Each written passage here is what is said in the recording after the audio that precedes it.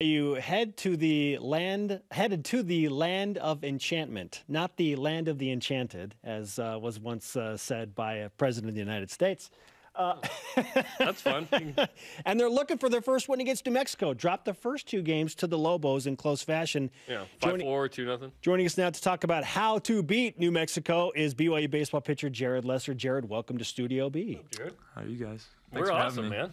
yeah, we're, we're doing great. As is, are you and your team, five and three. Uh, I did mention uh, the two losses to New Mexico. We'll get to that in a moment.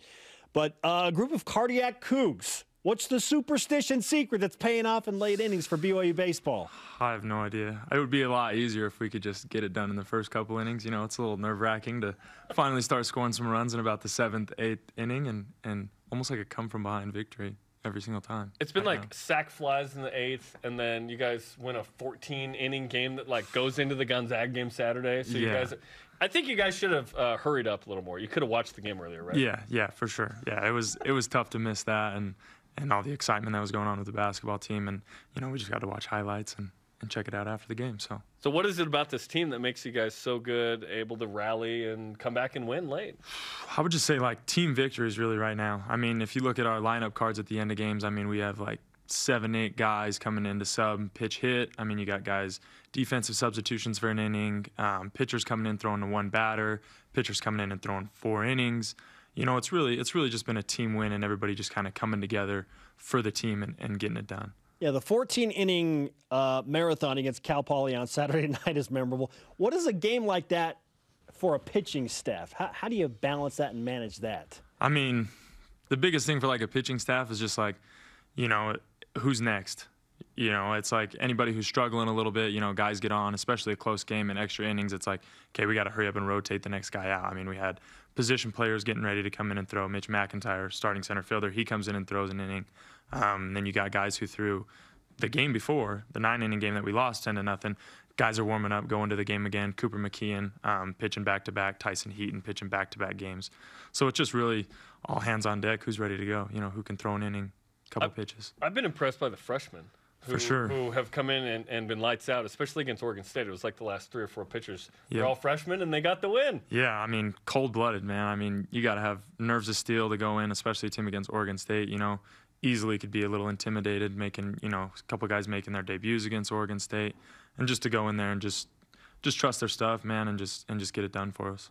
Every win feels good, but which of the five wins that you have uh, piled up this year has been the best overall for the team, do you think?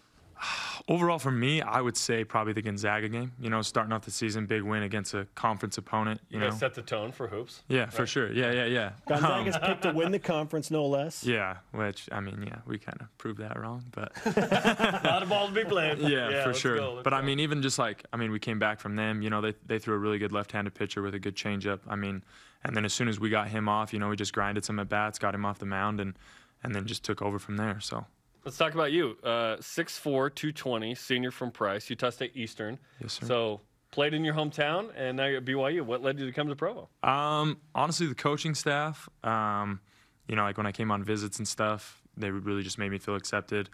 Um, and then and then being close to home, you know, being able for my family to come up and see me play often, um, and go back home and visit a little bit. So Uh, do, can you play wide receiver on the football team? You're 6'4", 220. Jaren Hall could throw you some passes. yeah, for sure. no, not anymore. My football days are over.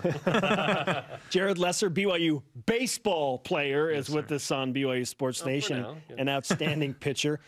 What makes this team unique compared to all of the other teams that you've been a part of, whether at BYU or not? What makes this year's team unique? I would say the biggest thing that makes us unique right now is uh, a lot of young guys. I mean, we have, I mean, we have three seniors, and I mean, all of us don't even feel like veterans because all of us are junior college transfers. So I mean, this is my second year.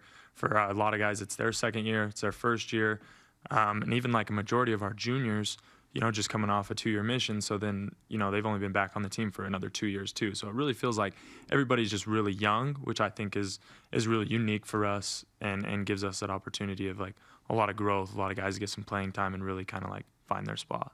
What are your uh, What are your pitches, and what's your best pitch? So I throw, I kind of throw like a cut fastball, and then I have a slider, curveball, and then kind of a changeup. So I would say my best pitch is cut fastball and a slider for sure. Who influenced you as a pitcher growing up? Who influenced me as a Whether pitcher? it was pros or coaches or anything like that. Um, honestly, a pitcher that I really looked up to is a pitcher from my hometown. His name's Brady Martinez. Um, he was in the Yankees organization, worked with me as a young kid, and and just really like looked at him as like a kid from Price who actually you know made it. So, you know, I really looked up to him a little bit, and and he really helped me a lot with pitching growing up. I love going inside the mind of a pitcher because, as you mentioned, you have to have nerves of steel in some high pressure situations. So let's put you in a hypothetical scenario. Bases loaded, full count, two down, late inning, game's tied. What's happening in your mind? I don't even just get the guy out. Really, I mean, just throw your best pitch, trust your stuff, um, trust the guys behind you. I mean, that's the biggest thing um, as a pitcher, just being able to trust the defense behind you. Um, even if you do miss a spot, you know, guys are gonna make guys are gonna make a play for you. So really, just just throw a strike. You have three appearances. BYU's won all three games. Should you play more? Um, no, I mean like uh, I mean, you know, I trust the coaches, the game plan, and everything that they've got. Um, you know, I did the little closing thing against Gonzaga, started against Oregon State, and then the fourth game against Cal Poly. So, you know, really, it's just whenever I'm called upon, whenever whenever they need me in whatever situation, you know, I, I just want to be ready to go and help my team win. How do you approach that mentally? Because I, th- I think right now you're what the, the the early week starter. Yeah, Is that where you're at? like a yeah, like the midweek midweek starter. start and then yeah, like, yeah. A, like a reliever of sorts. You closed one game, right? Mm-hmm. Mentally, how do you approach? Okay, this game I may be this, but another game I may be that. I mean, it's all in like the preparation. So like if I was getting ready for a start, you know, it's like the day before, I might not throw that much. Day before that, you know, get a bullpen in. Um, but when you're going into like a closing situation, like a weekend series, if I was like a closer, late reliever, reliever, whatever, um, really it's just like keeping your arm fresh all the time, really getting a lot of long toss in, and just you know really being engaged in the game and ready to go at any time. Jarod Lessar is Moorer. I'm sorry. Just- you waited till the I- end. Hey. you know, I can respect that. That that's not the first time. Come on. Four games with New Mexico coming up. We mentioned you lost the first two of them in hard fought battles. What's the scouting report on how to get it done against the Lobos? I would say really just just get on their pitching early. Um, you know, we kind of and that's kind of been like a little bit of a struggle so far right now is just a little bit of hitting, but I mean, you know, pitchers just keep doing what we're doing honestly. Um, just keeping up, pounding the zone, you know, working early ahead of counts. And I mean, just really letting guys work for us behind us and, and just kind of get on their pitching early for sure. Let's give you some BYU Sports Nation karma. It's good luck uh, in the uh, upcoming games. And do you mind signing our flag? No, yeah, for sure. Okay, awesome. All right, Thanks, Jarod, Jarod. Lessar in Studio From B. Price, man. You know uh, who else is from Price? President Worthen. President and Sister Worthen. Yep. And they know I love Price. Coming up, Rise and